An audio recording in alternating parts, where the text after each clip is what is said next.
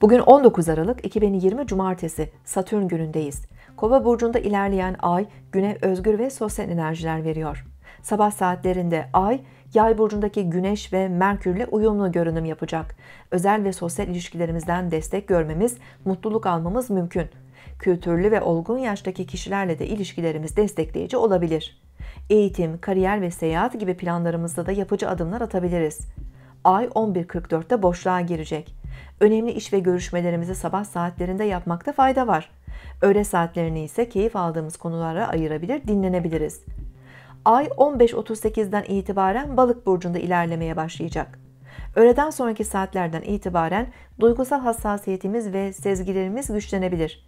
Çevremizde olup bitenlere karşı daha duyarlı davranabiliriz.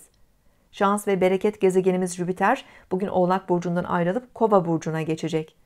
12 yılda bir Kova burcunda hareket eden Jüpiter 28 Aralık 2021'e kadar Kova burcunda ilerleyecek.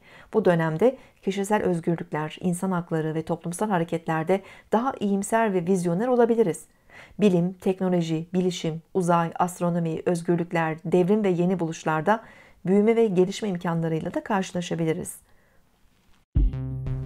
Siz de şimdi kanalımıza abone olun, yorumlar bölümüne sorularınızı yazın, sürprizlerimizden haberdar olun.